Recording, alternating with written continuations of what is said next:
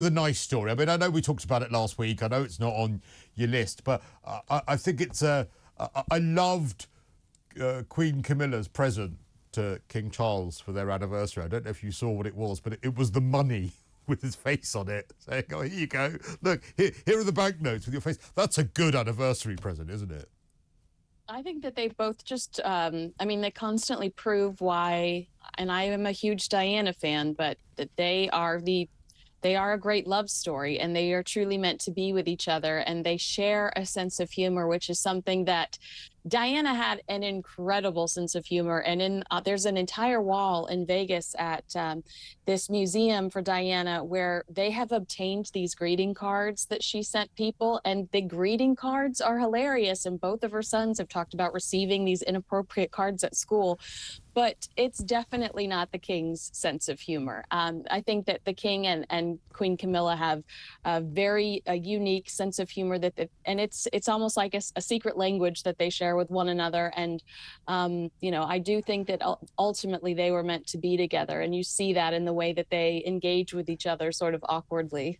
You've been to that Diana Museum, haven't you? Oh, yeah. I almost wore a shirt from it tonight. I don't, I just. I didn't though. Of course, you've been to that Diana. I, don't, I would, I, I would be have been horrified had you told me you'd not been. I just, I don't know what you were just saying though. I just sort of flashed into my mind. I wonder if Diana was still alive today, and I don't know, maybe she'd have remarried. I wonder if if the four of them would have ever found some peace enough to have been able to to I don't know share King Charles's birthday or or or you know to have been able to go to family events and and it all been okay. Well, I know that uh, I truly believe that towards the end of her life, she had become closer to Prince Charles at the time. Um, they, I've told this story to you before, but I, I have it in my book, Ours for Revenge Dress, when he asks if he could stop by Kensington Palace to use the loo. And as he, he stops into Kensington Palace, uses the restroom, and as he's leaving, Diana chased him out and said in front of all of his guards and everyone there waiting for him, same time next week, and winked at him. And he, you know, blushed, but everybody knew that that she was joking. But I think that they had a really um, a much stronger relationship towards the end of her life. I don't know about about Camilla though, because those two truly did work behind the scenes to pit the press against each other. And I imagine that that's hard to um, reconcile from. Yeah, and it would have been look at Diana... Prince Harry and Prince William. I mean, yeah. look, look at that. But yeah, and actually, you're right. Had Diana lived, it would have been Diana versus Camilla in the press constantly. You know, if, if Diana was out one day and Camilla was, you'd have had those, you know, the, the, those pieces in the press. Who wore it better? All of those um, sorts of things. Well, we're seeing it here in the UK. You know, the press love two women that are the sort of, you know, rivalries uh, with each other. So maybe that would have been um, the case. But uh, I, I, think you're right. I think that they were friends towards the end. Um, uh, the scene as well by Prince Charles is, is the then Prince Charles's reaction to her, her death. He was absolutely, completely bereft at her death. He really, really was. And I don't think that that was stage managed. That was absolutely genuine. Hey, talking of stage managed, uh, let's talk about the polo in Miami yesterday. Now, uh, I, I mentioned yesterday how absolutely lovely it was to see Meghan and Harry share a kiss at the polo that uh, Harry was playing in. It was it was a lovely, lovely moment, and oh, just so happened to be caught by their Netflix film crew. Yeah, I thought I honestly I'm going to get killed for this, but I thought that Meghan looked absolutely beautiful. Um, but in addition to her midriff, her controlling nature was on clear display. You know, she was requesting other individuals to pose next to her instead of Prince Harry. Uh, the, uh, like you said, the highly choreographed kiss picture. And, you know, it's all for Netflix, it's all for show. They were at the Royal Salute Polo Challenge at the Grand Champions Polo Club in Wellington. And um, to me, this announcement of these two brand new shows it's it has solidified to me that there's no chance for a reconciliation between Prince Harry and Prince William anytime soon because again now Prince William has to worry about microphones and cameras following his brother around and both the prince and princess of Wales have been so fiercely uh, private and worried about protecting their children from the outside world as of late. There's no way they're going to jeopardize that. I think you're right by the way. I think that they both looked amazing yesterday when when I don't know whether it was when they arrived or when they were leaving, but also uh, Prince Harry in his, his his white chinos and and his, his linen jacket, and they I just think that they looked amazing. And fair play to Meghan for wearing six inch stilettos on grass. I mean, that is that is a commitment to a new shoe, which we know she loves. Um, but you're quite right, all stage managed for Netflix. It's interesting, actually. I was speaking this week um, on the Royal Tea, which is on on um, Talk TV and it's on uh, YouTube, and, and and I was being asked about the chance of a reconciliation, and what you've just said is absolutely right. And I'll repeat what I said then. Um, how could you possibly sit down? William and Harry, Prince William and Prince Harry, and, and, and try and mediate some sort of reconciliation without Prince Harry signing a non disclosure agreement. How could you possibly do that? Because you're right. Even when they had that meeting after Prince Philip's funeral, it ended up one of the extra chapters in Spare. When they try and reconcile, that's what ends up. And, and, and the issue is that any move to reconcile will end up being material for some sort of book, interview, or professional victimhood.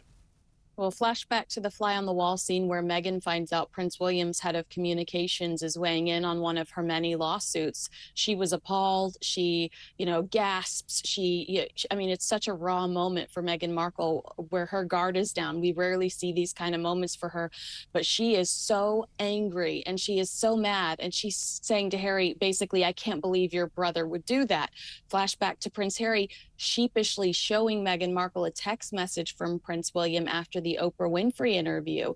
Prince William is not going to invite that type of chaos back into his life right now. No, because uh, Prince William is uh, love and loathe or loathe Prince William. He's about control very much about control. He's very, very protective, as you've just alluded to. He is not going to allow that back into his life. Uh, funny how you say one of the many lawsuits. I mean, they, have literally got more lawsuits than, than Meghan's got dresses, right? I don't know. I bet she's got a lot of dresses. Oh, um... I, I, wonder. That would be interesting to see which is uh, the one. Now, uh, we've got these two new Netflix shows. Uh, as we say, one is about the polo, now the other one is about, I mean, it's about like cookery and lifestyle and entertaining, yeah. and I can't help but read that and just think, you just want to sell us pet food by American Dead Riviera, don't you? Yeah, it's because it, uh, they say she's going to be celebrating, Meghan's going to be celebrating the joys of cooking, gardening, entertaining, and friendship. I think, judging by the content of both projects, this is not about fast cash, which is what we usually talk about. I think, based on those descriptions, they are clearly desperate to change people's perspectives, um, perception of them. Uh, I could name 10 friends Meghan Markle no longer talks to, but she's eager to brand herself as everyone's gardening girlfriend.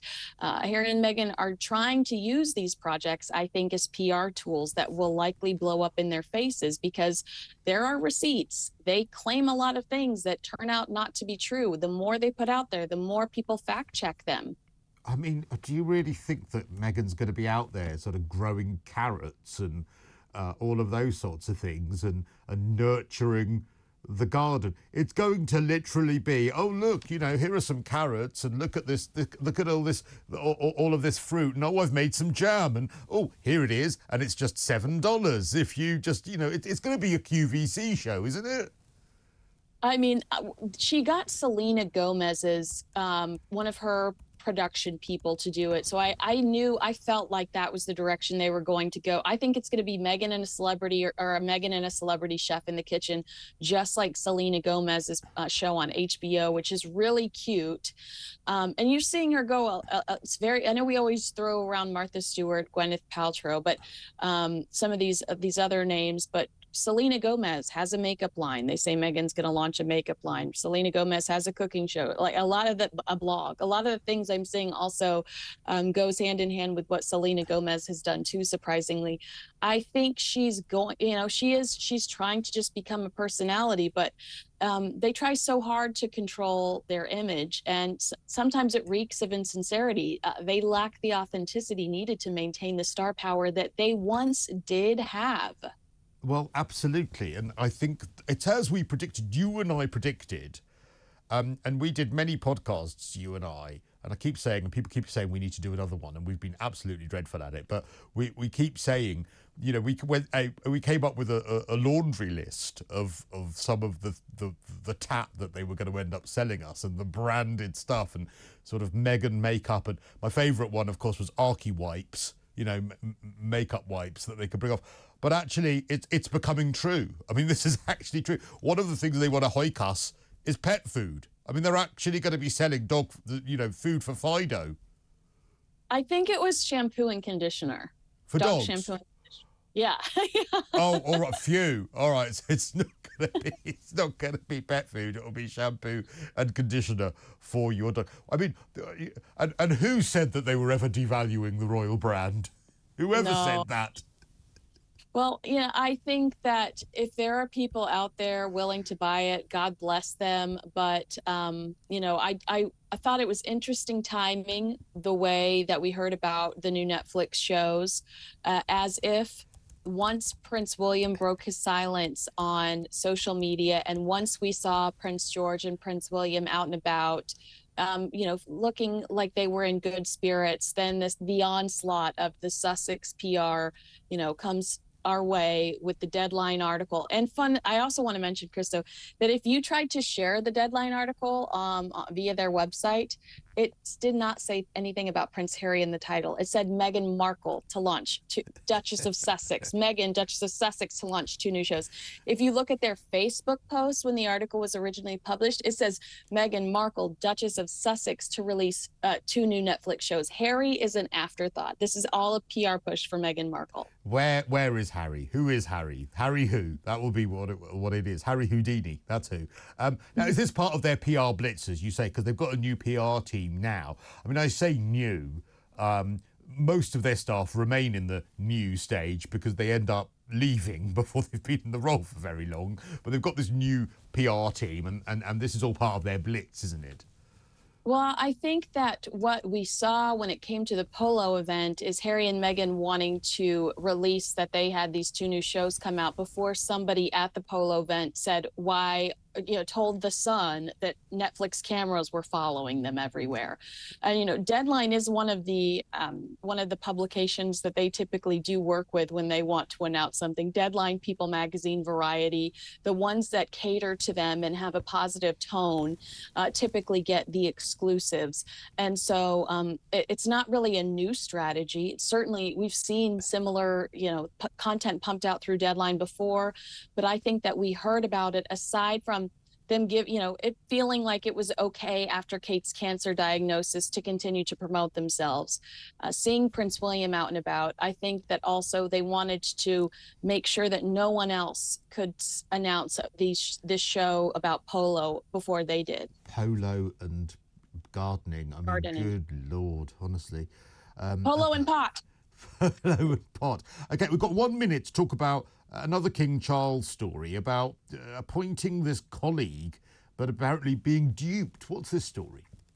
So, um, Garter King of Arms David White has been accused. This is in the Daily Mail today. This is an exclusive of ignoring long established court procedure and instead using a back channel to secure the king's signature on his preferred choice for a senior appointment of his department um, at the College of Arms. This happened and this is i think why people are so up in arms about it. Specifically this happened when the king was in london for his ongoing cancer treatment. And this is when staff they were specifically told uh, to not bother him during this. This when he was going through the cancer treatment in london he's really just supposed to be there to go through cancer treatment in london. Um, and so that's why a lot of people i mean aside from breaking the rules people feel like uh, it was kind of um, morally corrupt. Yeah, well, you know? heads, if, if I was going to say heads will roll, in years ago, heads would have actually literally rolled um, for that. Listen, Kinsey, we've got to leave it. Thank you so much for holding on uh, for us and uh, doing a slightly shorter one today. That's Kinsey Schofield.